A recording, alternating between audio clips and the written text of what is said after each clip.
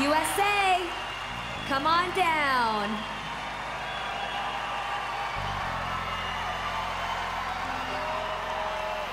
You ready? All right. Here is your question. If you win Miss Universe, how would you work to demonstrate this as an empowering and progressive organization? Well, I would use it to be a transformational leader.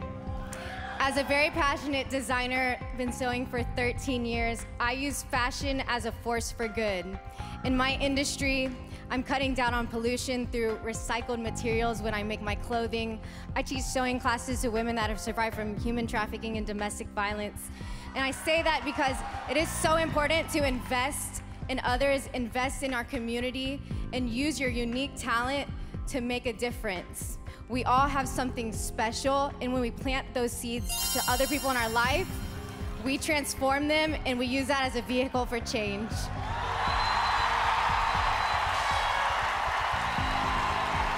Thank you.